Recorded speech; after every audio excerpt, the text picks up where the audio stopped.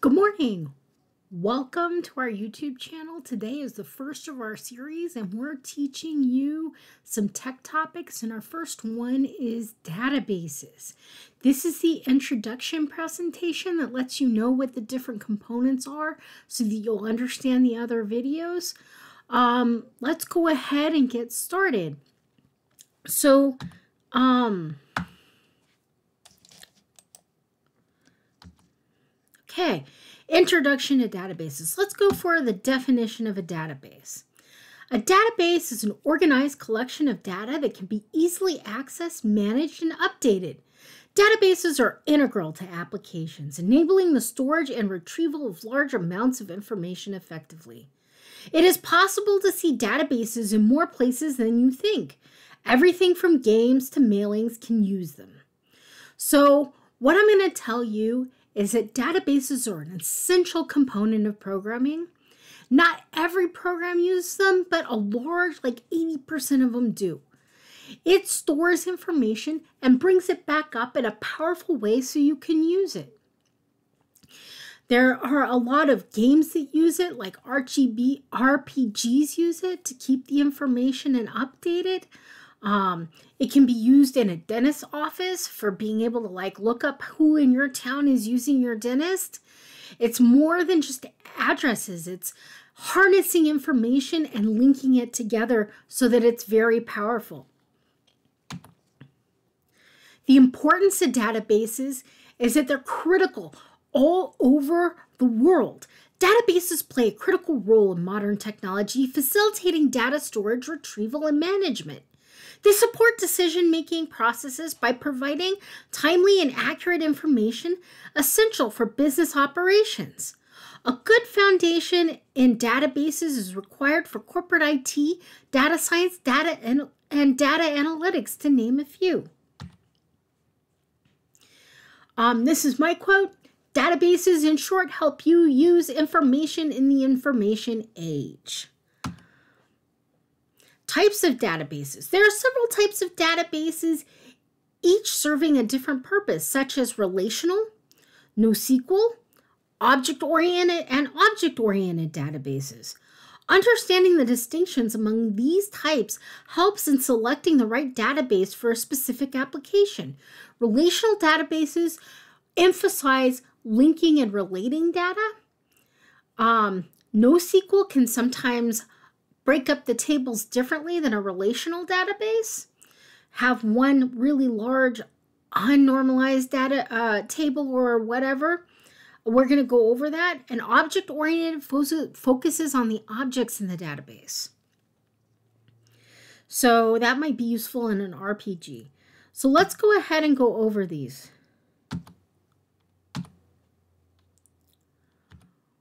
All right.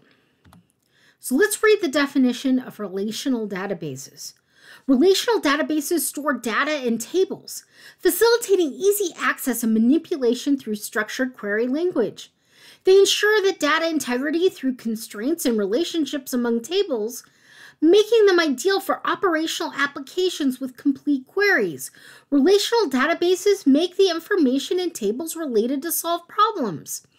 Information is out there in the super information highway. And the thing is, is until you reach out and grab it and make it related to the things you do and the things that you're trying to achieve, it's just static and it sits there. Relational databases form those relationships and come back at you to solve problems. NoSQL is just not doing it um, the way that we traditionally do it with SQL. No SQL. Um, it can have different structures. Let's go ahead and read the definition. NoSQL databases provide flexible schema designs and are optimized for large-scale data storage and retrieval. They support various data models such as document, key value, column family, column family stores, making them suitable for big data applications and real-time web services. These databases are not always broken up by normalization and follow their one schemata. Normalization is an industry standard for creating power, power, proper structure in tables.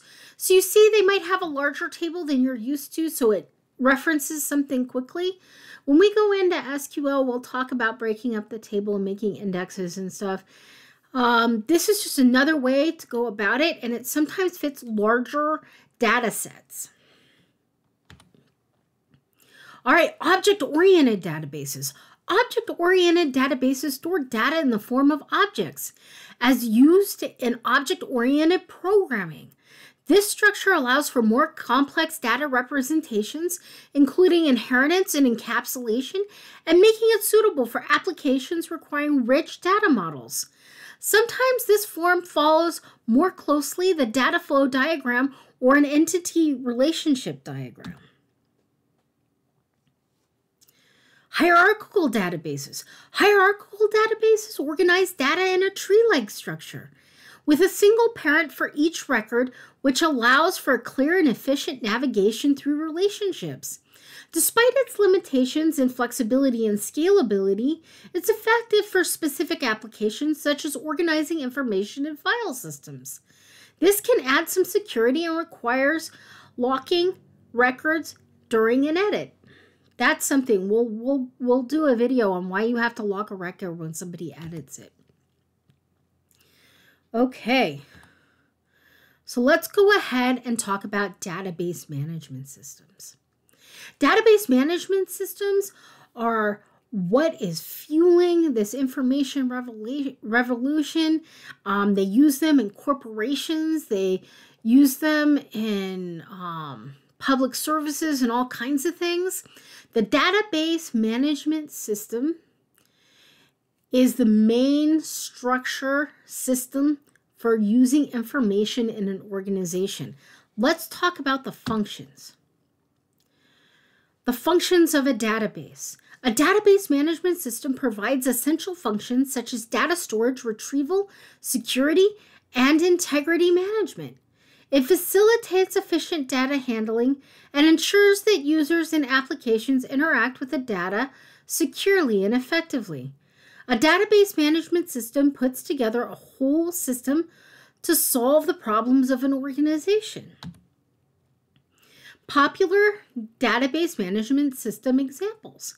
Examples of widely used database management systems include MySQL, Oracle, Microsoft SQL Server, and PostgreSQL.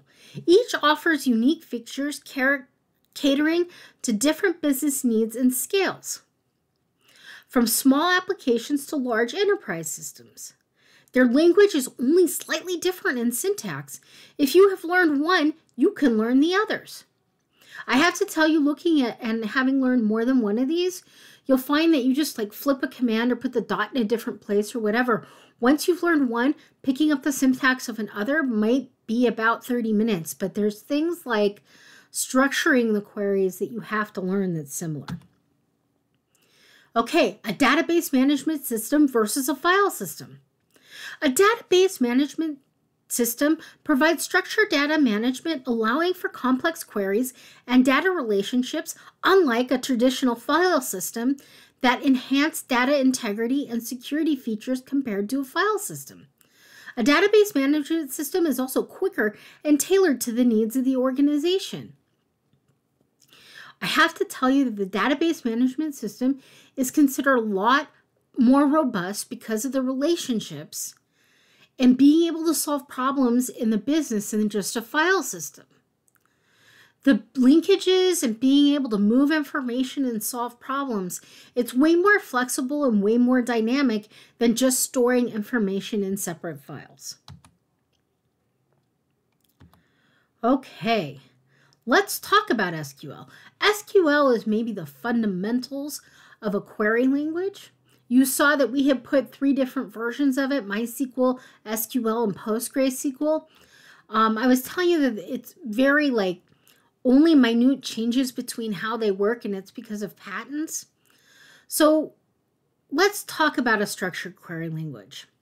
SQL or structured query language is the standard language for querying and managing relational databases. It enables users to read, create, update, and delete data efficiently across a database system.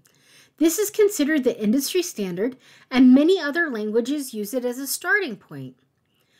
SQL is simple and you can learn it in 30 minutes, and it's the most dynamic and robust relational database tool I've ever seen. Okay, basic SQL commands. Essential SQL commands include select for querying data, insert for adding records, and update for modifying existing data, and delete for removing data. Mastering these commands is crucial for the effective database interaction. The commands are not difficult and are close to the natural language, but don't have a natural structure. Data manipulation language is a set within SQL. Data manipulation language, or DML, is a subset of SQL used for managing data within database objects. DML includes commands such as select, insert, update, and delete. Crucial for data handling, you will find that you will need to use DML to properly take advantage of SQL's power. This part of the language creates relationships between the information. DML is the really powerful part inside there that creates all of the relationships so that you can get solutions out of your data. Okay. Okay, database design principles. So we're going to go over a few things that are going to be more detailed videos later that are database design principles. And the thing is, people ask me about these all of the time. So I'm giving the introduction of what they are in this video, hoping you watch this first, and then we're going to get some breakouts of um, what these things are and how to do them. There's there's something where I'm giving you three components. One of them is normalization. Normalization, everybody gets a weird look on their face and goes confused because the definition sounds like this Normalization is the process of organizing data in a database to reduce redundancy and improve data integrity. Through techniques like eliminating duplicate data and ensuring relationships among tables, normalization enhances the efficiency of database operations. Normalization is used to make the table ready to form relationships in the database. Broken up correctly, it searches without breaking and will perform the search quickly.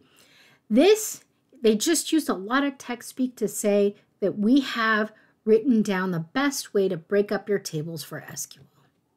You can use it in some of the other formats too, but this way, if you use all of the normal forms, you'll end up with the best tables for linking and relating your data. That's what normalization is. When they say make a table normal, they mean go ahead and normalize it so it doesn't have any of the bad dependencies or redundancies that they don't want in it that end up breaking. Okay, data flow diagrams. Analysis uses two tools, data flow diagrams and entity, entity relationship diagrams. Data flow diagrams, you'll see one on the screen. What it is, is looking at where your components are and how people need to access the information so your database is designed correctly. Another thing that you can do is looking at entity relationships. Entity relationships, it looks at an entity and sees what their relationship is to the data. The entity relationship model is a visual representation of data its relationships within a database. It utilizes entities, attributes, and relationships to depict how data interacts, facilitating a better understanding of database structure and design. So you can see on this slide, I've shown you that what the ER diagram is doing is showing you every entity that needs to access the information and then it's also showing you what information it needs to access. There's something very important in security where you might go like in a medical database where they only access information they need to access at each point. Like the pharmacy might not be able to log in and see cholesterol numbers. Or they might not be able to see the address of where they live. Maybe they, yeah, they would need that. But you see, you might you only do as need there. Okay, so one thing I want to teach you is that normal form and some of these things are considered best practices. Best practices is when you follow the industry recommended standards for your work. For example, a best practice is to put your tables into normal form. All right, thank you for your support. I used Prezi to help me make this video, so I've gone ahead and put their um, I've gone ahead and put their uh, address up on the screen. We're going to be doing some breakout topics on this, and when you're done with this series, you're going to be a master at databases, okay? All right, excellent. Have a good day. And um, yeah, have a great day, and I hope you have fun.